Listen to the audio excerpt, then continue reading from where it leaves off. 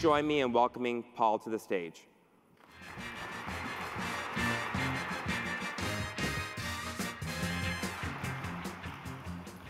Good morning, ladies and gentlemen. Schönen guten Morgen. It's nice to be back in Berlin. I was recalling earlier that uh, Berlin is actually the first city where I ever experienced augmented reality on the way home from a pub here in the city about 15 years ago.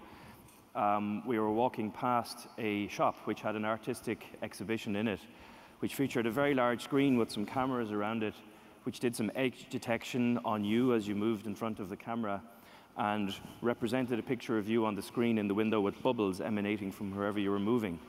So I guess the idea caught fire, uh, and here we are some 15 years later at the Augmented World Expo here in Berlin. So I guess let me start by giving a short overview of DAQRI for those of you who are not familiar with us. We're approximately seven years old. Uh, we're heading for 350 people, and we've got a footprint in six different locations four of which in Europe and two in the US. Our worldwide headquarters is in Los Angeles, and our European headquarters is in Dublin, Ireland. Um, we've been coming to the Augmented World Expo pretty much from the start, and we're a big fan of the show. Um, I guess in terms of who we are and what we did, initially we were a company who developed apps for augmented reality.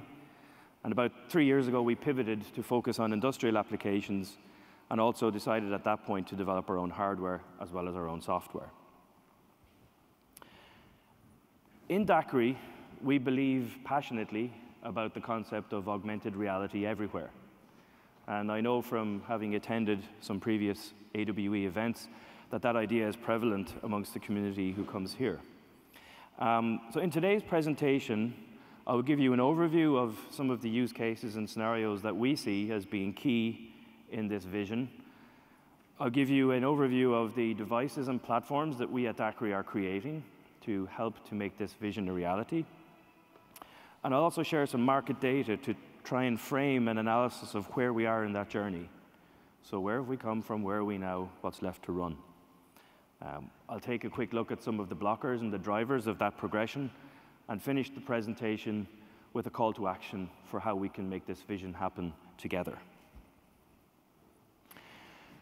It's no secret that DAQRI has always had a focus in the use of augmented reality at work, at least since we pivoted towards industry.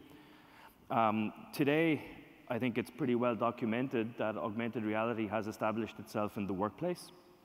There are many applications, such as in warehousing, and there's a large growth in the number of proofs of concept and pilot studies for companies uh, engaged in tasks such as field service, manufacturing, maintenance type activities. We're also seeing a strong interest in this technology from the architecture, engineering, and construction sector, as is alluded to in this photograph. The benefits of the use of augmented reality in the workplace are also pretty well documented, primarily operational efficiency, productivity, training, and worker safety. Our concept of augmented reality everywhere starts off in the workplace. So we have a worker wearing a DAQRI Smart Helmet, who in the workplace uses augmented reality to get context-relevant instruction for the tasks in which they're engaged. And that same technology helps them to keep safe during their working shift. After that shift ends, we see the worker taking off their smart helmet, putting on a pair of smart glasses. Leaving their workplace, their smart glasses will reacquaint them with their personal life, might give them a reminder to buy their mom flowers if Sunday's Mother's Day coming up, might remind them to buy some groceries on the way home. In fact, the glasses, we see them as directing the person towards their car through augmented reality instructions and directions to find their car in the parking lot. Hey, we even see augmented reality as potentially allowing the person to open up their car so that they can interact with the car in a virtual and an augmented uh, experience. Once the user sits in that car, we envisage the user taking off their smart glasses, resting them on the passenger seat, and that session of augmented reality seamlessly transitioning to now exist within the automobile that the person is driving. So once in the car, the augmented reality session transfers to an augmented reality heads-up display in the car. so typically rendered on the windshield. This can direct you, for example, to the shop where you need to stop to pick up the groceries we mentioned before, but certainly can drive you home into your driveway and get you there safely and effectively. Once home, we see the driver taking their smart glasses from the seat, walking in the driveway into their house, placing the glasses on the coffee table, and that augmented reality session then transfers seamlessly to their home, where other devices such as projectors, etc., can take up the augmented reality experience. So augmented reality everywhere to us means a world where augmented reality guides you on the job, directs you on the road, and delivers a great experience in your home, also functioning as a lifestyle tool. And our vision in DAQRI, or our mission in DAQRI, is to build the hardware and software platforms to enable you to develop the apps and the content to make this vision a reality.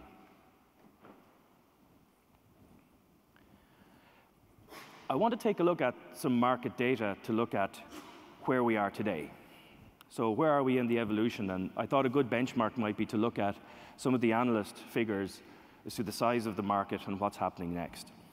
So to frame the overall context, let's look at the wearable industry for a start. So revenue in 2013 was about $13.9 billion. This year, we're looking at 28.7 forecasted, and that's heading for north of $61 billion by 2020. So this is obviously a high growth market. It includes devices such as wristbands, smartwatches, sports devices, smart clothing, body-worn cameras, augmented reality devices, head-mounted displays. Within that wearable sector, the particular area of focus for me today is the head-mounted display. So head-mounted display includes in this analysis smart glasses, AR-enabled glasses, VR masks and headsets, and head-mounted computers. So everything that we would consider part of augmented reality that's worn on the head. The growth of this sector is pretty spectacular. So it started off at $40 million back in 2013, this year is about $900 uh, million. And by 2020, we're looking at north of $21 billion. So a huge 145% compound growth rate over the next four years. So this, in 2020, 20, north of 21 billion will be just over a third of the total wearables market from today, where it's not even a 30th, and back in 2013, it was hardly existing. So this huge growth for us signifies the proliferation of the underlying technology which makes augmented reality possible and makes it possible everywhere. To look at what is driving this head-mounted display growth, I think it's worth delving a little bit deeper just to see what applications are driving the usage of those devices and are, and are driving demand. So gaming has certainly helped proliferate uh, VR platforms, such as Vive and PlayStation and some of these other devices. I guess more recently, augmented reality has also started to drive gaming applications on some mobile applications, the advent of Pokemon Go and many other AR applications. Um, in the lifestyle, lifestyle space, you also see some new products being announced, such as Snapchat glasses. So head-mounted displays are starting to proliferate beyond some of the early adopter cases. The Google Explorers program, which ended in 2015, certainly enchanted the world with the idea of AR-enabled smart glasses. Since that program has ended, lots of people who have developed that passion are now looking to other areas for potential applications. We in DAQRI see business and industrial use cases as being a key driver of this head-mounted display growth, and it's certainly taking increased momentum currently. And what we see from our experience is a lot of key workplace use cases, including training, safety of the worker, simulated work environments where the worker can learn tasks without actually working with products. We see remote expert type applications being very, very interesting. So over-the-air coaching from an expert who's, who's located somewhere else, who's seeing what you're seeing in your environment through a live camera link up. And we see a lot of interest in worker productivity and safety. So the use of augmented work instructions um, or augmented reality visual instruction, which helps the worker to do their task quicker and with less error. Many of the early adopter companies have been doing pilots in this area for some time, and we see an increased proliferation and interest in pilots beyond that early adopter group currently. Um, a lot of the first use cases we've seen have been in field services. I think there's many well-documented cases of the use of augmented reality in a warehousing situation, pick and place type functions, and we're seeing a lot of interest also in manufacturing environments. So they're the drivers. I guess to look at the inhibitors, traditionally the inhibitors of the proliferation of augmented reality has included the lack of robust hardware. I mean, the space is new. What we're trying to do, what everybody's trying to do to have miniature wearables which can produce a very, very high visual quality of experience, it is cutting edge. So the, the evolution of the tech has been something historically that has been an inhibitor. I think today we're at the stage where um, hardware has reached a maturity where it is now real. In addition, uh, a, a, limiting factor or an inhibitor has been the ability to integrate lots of the software required to support augmented reality experiences into customer enterprises. And last but not least, uh, the ability to generate content and relevant and compelling content to want users to actually use the technology. So at DAQRI, what we're doing about this is I'm excited to say we are releasing our developer edition DAQRI Smart Helmet to the open market on October 31st. We've been selling it to a smaller number of, of key customers and partners over the past couple of years, but we're now opening out the sales of the product to anybody from the uh, partner or consumer space who's interested. Um, we believe it's a pretty powerful device. It's essentially as powerful as the most powerful laptop, which you can commercially buy with a Core M7 processor, some Intel depth sensors on there. And we've got our DAQRI computer vision, so our specialist uh, from the ground up developed algorithms which fuse the output from a high def camera with a six degree of freedom IMU inside the helmet to give positional tracking, uh, which is optimized in hardware on our device. We will have PPE certification on this device in quarter two of next year, and by the end of the year, we will have full HAZLOC certification for use of this device in oil and gas and chemical environments. We have also developed a vehicle heads-up display, which today is driving around in about 150,000 cars around the world. Um, we're pretty excited about this device. It offers many advantages to existing state-of-the-art in terms of vehicle heads-up displays. What effectively is is a holographic projection onto the windshield of the car. So rather than looking at the dashboard for your directions and for some key information about the operation of the car, it's projected holographically in front of you. The technology we have and why we're so excited about it is it's over two and a half times brighter and consumes drastically less power than the nearest competitor, also occupying very little space. To facilitate development of content, which is one of the key blockers, I guess. So to facilitate development of content, we're releasing on October 31st a number of tools, which will be free of charge. Um, the basic operating system on all of our devices will be the same DAQRI operating system. Um, that will include drivers for the individual hardware, but it will present a unified operating system across all of our hardware platforms. The concept being if you develop assets for one of our hardware platforms, that they are portable across to other platforms in our family. The developer tools which we're releasing effectively are threefold.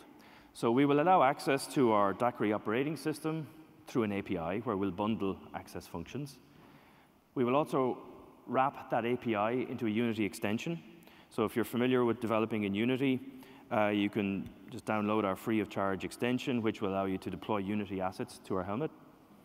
And we will be also releasing our DAQRI 4D Studio content creation tool. So that's the concept of how you create content for our, for our hardware platforms. We also have web-based portals for user management and device management. So to allow you to create working teams of users who are using our products, uh, developer teams or who are contributing content for the platforms, and also device management tools to manage tasks like over-the-air updates, and status information of the various different assets that are out in the field. Of course, I've spoken here about products in the last couple of minutes. Um, you know, th is, these are tools for you to develop content and applications uh, to, on top of our hardware products. Um, but this is, a, this is a community effort. It's an ecosystem effort. Um, we don't see ourselves as being services specifically, but are rather focused on the platform. Um, so to that end, we are proud members of the AREA, the Augmented Reality Enterprise Envar Alliance.